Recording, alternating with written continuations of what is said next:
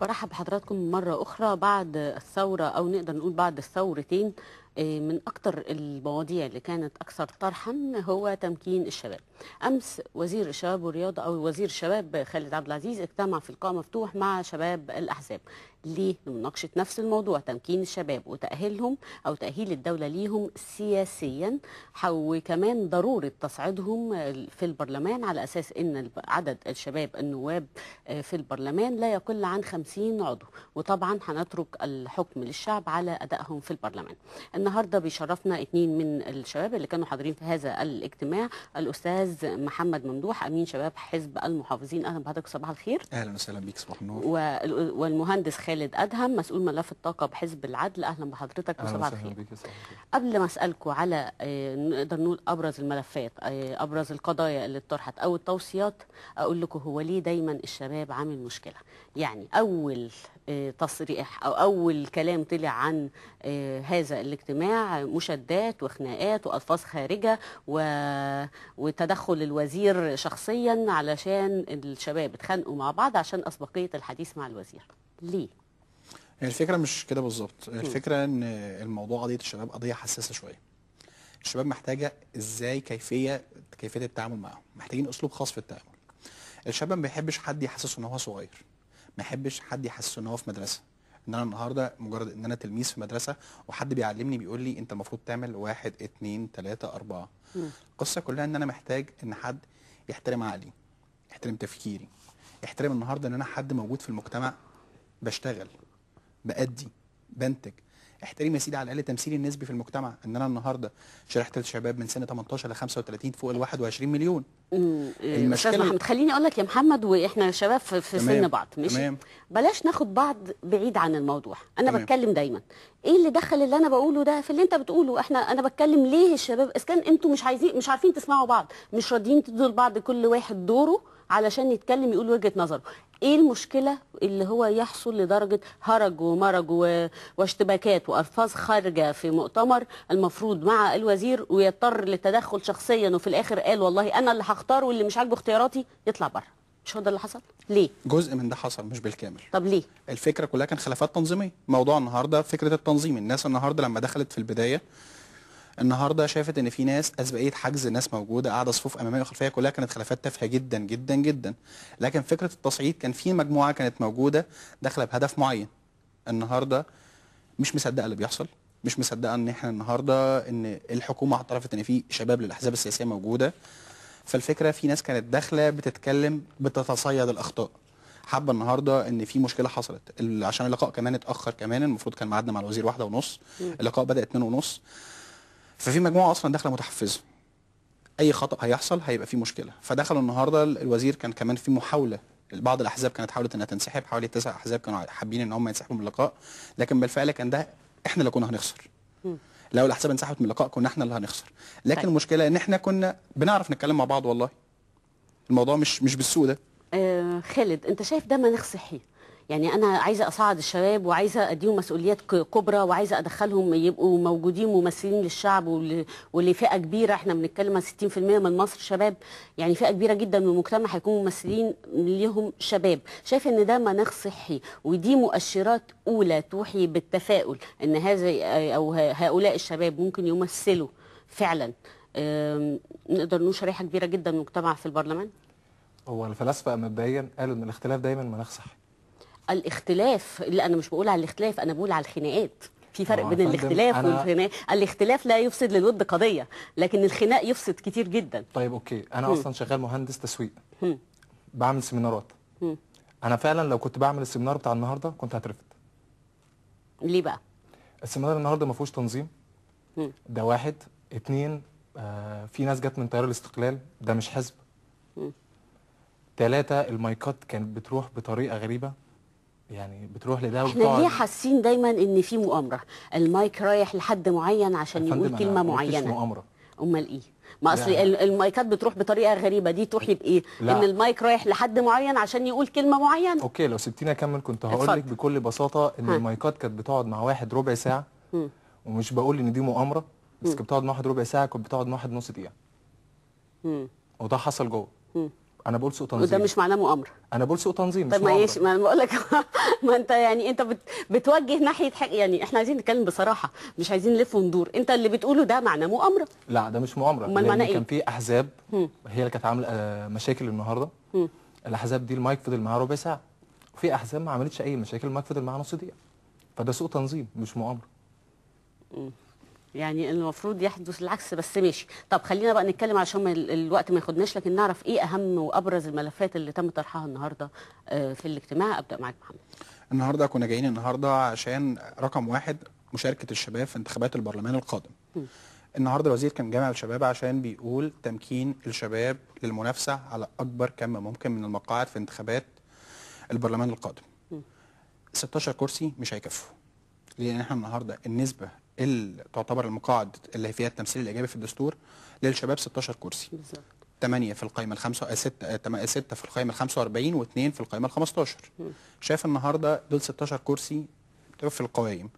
رئيس الجمهورية هيعين 27 فلو عين أربعة شباب عشان يكملوا ال 20 20 شاب في برلمان 2015 بعد دولة عملت ثورتين استحالة تكون نسبة كافية. فكنا النهارده بنتكلم في إن إزاي نعرف نحاول نوصل النسبة دي ل 50 إزاي الشباب تقدر تدافع عن قضيتها؟ إزاي النهارده تقدر تبقى موجود في الساحة وتتكلم وتقول أنا موجود؟ طب إزاي بقى؟ توصلتوا إزاي ما إحنا كنا عايزين نتواصل إزاي دي. لكن ما توصلتوش. طبعا الخناقة خدت نص المؤتمر وما لحقتوش. لا الموضوع بالظبط كان النهارده ناس كتير كانت جاية مجرد إنها بتعرض مشاكل وهو الوزير كان بيتكلم إن هي في معطيات موجودة اتصرف على ضوء هذه المعطيات. القانون مش هيتغير. ده الوضع الحالي. اشتغل على هذا الأساس. بمعنى أصح بيقول لك أنت النهارده انزل اجري الملعب بس برجليك متكتفة. كمل انزل النهارده واجه المال السياسي في الدولة لو انت النهارده هتنافس على المقاعد الفردية. تبدأ أنت النهارده تزاحم الشخصيات العامة على القوائم.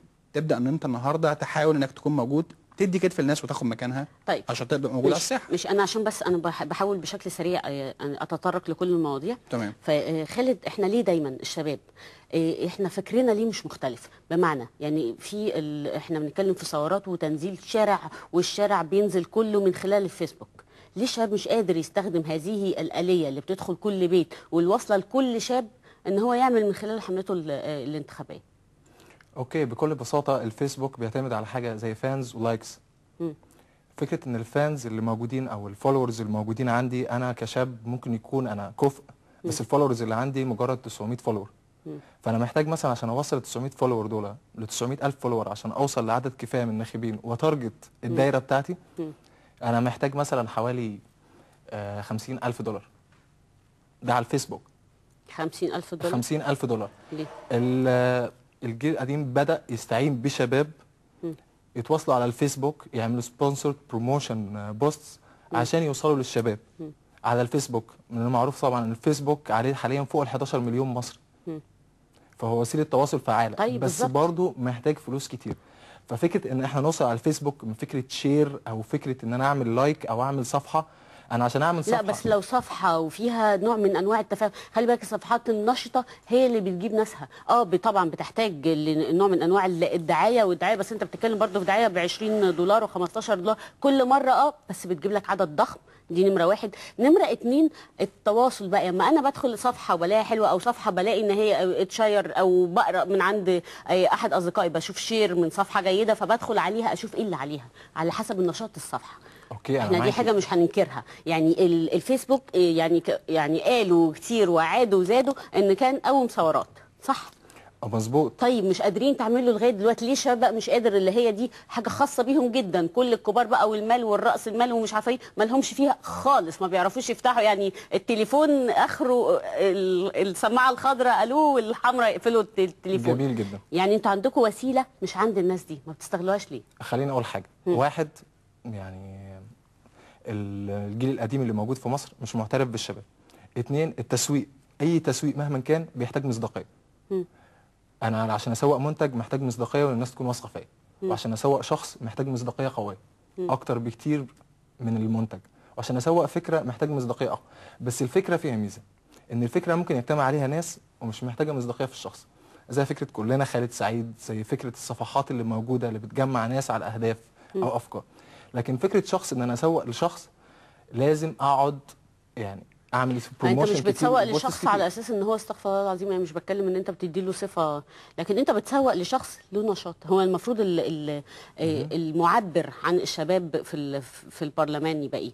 أي شخص إن أنا أسوق له وأعمل له صورة. جيدة ولا شخص له نشاط. لو أنت عملت فكرة النهارده جيدة جدا في خدمة مصر وعملت ونزلت وشفنا زي مثلا جماعة هنلونها زي غيرهم زي اسمعونا زي العديد من المبادرات. وبدأت تنتشر. ناس كتير جدا هتعرفك. جميل جدا. نتكلم في النقطه وهيبقى. في مصداقية وهيبقى في كل اللي أنت بتقوله. المفروض ما سوقش لشخص مش معروف ومالوش أي نشاط. لا إحنا بنتكلم على شخص معروف. أنا أعرف مثلا محاضر في الجامعة الأمريكية عنده 27 سنة بيتكلم في الاقتصاد وشغال في البورصة واخد وضع في البورصة.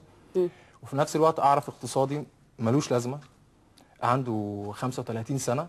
اللي عنده 35 سنة بسبب إن هو بيطلع على الإعلام. الناس برضو بتحب إن الناس بتطلع على التلفزيون. وهكذا. وبتدي محاضرات في أماكن عريقة وأماكن كبيرة.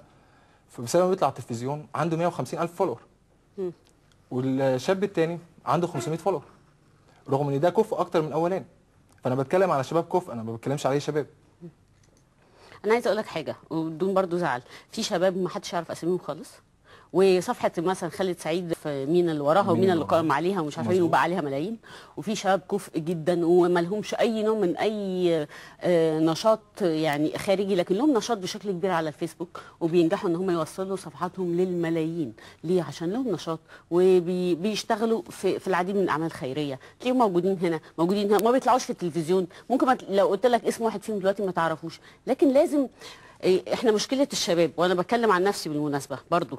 إيه، إحنا عايزين دايما إيه، أصل إحنا مش واخدين فرصتنا. فإحنا مستنيين يخبط على الباب ويقول لنا يا جماعة دي الفرصه أهي ويلا وروح عشان تبقى مدير. يلا وروح عشان تبقى إعلامي كبير. يلا وروح عشان تبقى في البرلمان. مفيش حد هيعمل كده. إحنا المفروض هنعمل ده. مش كده برضو؟ بس إحنا مش واخدين فرصتنا. ما هو مش واخدين فرصتنا انت اللي تعملها. إحنا المطلوب إحنا نعمل الفرصه طيب علشان بس أنا فعلا وقتي آه، آه، خلص عايز اعرف إيه التوصيات بقى اللي خرجتوا اللي خرجتوا منها من هذا ال- إحنا اللقاء النهارده اللي اتفقنا عليه. اولا هي في البداية بنشكر المهندس خالد عبد العزيز على بالها النهارده إن هو جمع شباب الأحزاب السياسية وقال بالفعل إن الأحزاب المصرية النهارده عندها شباب وفي امانات شباب في الأحزاب وبتشتغل واعترف النهارده إن أهل يدور في الشارع وإن الكوادر الحزبية إن الأحزاب هي مدرسة السياسة الوطنية الموجودة النهارده عشان تتعلم في السياسة أنت لازم تكون موجود في حزب. طبعا هو ده بوابتك للبرلمان بوابتك للمحليات عشان تبقى موجود. دي كانت دي أول حاجة ممكن نتكلم فيها. البادرة الثانية اللي إحنا النهارده كنا منتظرينها من المهندس خالد وإن شاء الله تحقق قال لك إن دي مش أول ولا آخر مرة هنقعد مع بعض. في اجتماعات ثانية هتبقى موجودة. اتفقنا النهارده على محاولة زيادة عدد مقاعد البرلمان عن طريق استغلال المقاعد المميزة الثانية إن إحنا النهارده فكرة التنظيم مش أكتر في القائمه الانتخابية. يعني النهارده المرأة فيها شريحة فيها نسبة كبيرة من الفتيات. ممكن النهارده انافس على مقاعد المرأة بفتيات تحت سن ال 35 سنة. أتكلم النهارده على فكرة المصريين بالخارج. أتكلم النهارده كمان على نقطة ذوي الاحتياجات الخاصة كمان لأن هم في نسبة كبيرة منهم من الشباب هي كمان محتاجة إنها تمثل قضيتها وتدافع عن حقوقها. فكرة كمان التوصيات اللي خرجت التنسيق بين شباب الأحزاب في الفعاليات اللي جاية النهارده آه إن إحنا بندافع عن قضية واحدة مش موجودين النهارده مش فكرة إن إحنا متشتتين لا إحنا المفروض إن إحنا نظهر إن إحنا متحدين بندافع عن القضية.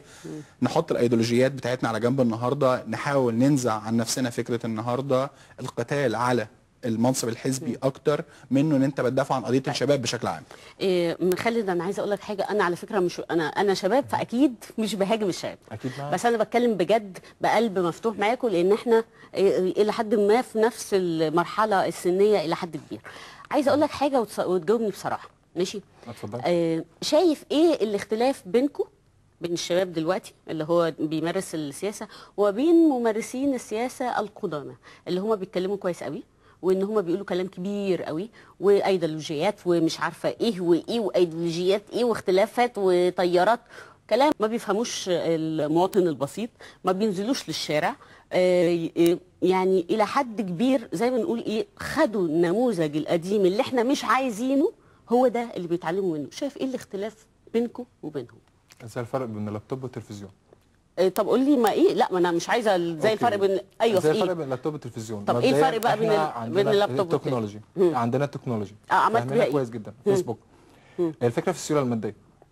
الفكرة مشكلة الشباب فعلا في السيولة المادية. لو الشباب عنده سيولة مادية قوية هيكتسح المشكلة على فكرة مش تكنولوجيا أنا بس. بتكلم في الممارسات في الممارسات العملية مش بتكلم دلوقتي في كيفية دخول البرلمان. الممارسات أنا العملية. بتكلم في الممارسات إن هو اللي إحنا بنتكلم عن برلمانيين قعدوا العديد من السنوات ما لهمش دعوة بالشارع بيتكلموا كلام كبير جدا ما بيفهموش رجل الشارع ما لهمش أي اتصال بالشارع ما لهمش ما لهمش دي الممارسات اللي إحنا كنا بنشوفها قبل كده. أنتوا بتعملوا إيه مختلف عن ده؟ لا إحنا بنتكلم بلغة الشارع إحنا بنتكلم بلغة الشباب اللي هم نسبة 60% زي ما انت قلت في الأول. إحنا بنتكلم بلغة الشباب اللي هم من الراي العام أكتر من 11 مليون على الفيسبوك. وده من الرأي العام اللي موجود. إحنا بنتكلم بلغة غير الشباب. الكلام بقى. بتعملوا غير إيه؟ الكلام لا في كتير شباب نزلوا الشارع في كتير شباب أنا مثلا كلجنة البيئه والطاقة أنا بدي محاضرات كتير جدا عن الطاقة الشمسية وعن البيئة وعن الطاقة وبحاول أنشر الوعي في المجال ده. ولو في سيولة مادية هيكون أكتر بكتير. في شباب غيري كتير بيتكلموا على الاقتصاد وبيوعوا الناس بالموضوع ده. في شباب كتير بتعرف تعمل طلبات إحاطة وعندها قوة قوية إنها تعمل قوانين. آه، في شباب قريب عمل مؤتمرات للطاقة واتكلم فيها عن أزمة الطاقة وحل المشكلة. في شباب برضو كتير وأزمة الطاقة لغاية دلوقتي مش باينة ملامحها رغم ده من الإحصائيات القليلة. قدرنا مثلا نطلع ورقة الورقة دي فيها آه، حل مشكلة الطاقة من نواحي كتير. من ناحية الطاقة الشمسية من ناحية استخدام الفعال للطاقة. في شباب كتير قدروا إن هم ينزلوا الشارع ويتكلموا على أزمة الطاقة دي لكن الفكرة كلها رجل الشارع البسيط عايز واحد كبير في السن يتكلم معاه بلغة أنا اللي فاهم أنا عندي استقرار أنا اللي عندي الأمن. الشباب للأسف ما عندوش القدرة إن السيولة المادية يوصل للشارع البسيط ما عندوش السيولة المادية إن السيولة المادية هي اللي هتوصلك للراجل الشارع آه البسيط. السيولة المادية اللي هتوصلني للشارع البسيط. أنا مثلا كشاب لو نزلت في لو نزلت في القاهرة هعرف أعمل كام مؤتمر؟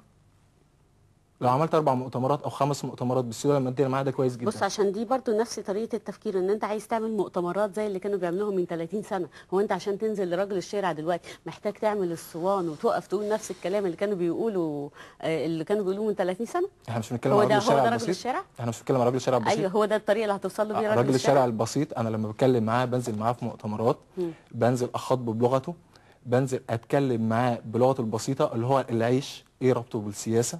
بنزل أتكلم معاه بلغته البسيطة. القوانين ممكن تصلح إيه من وضعه المادي؟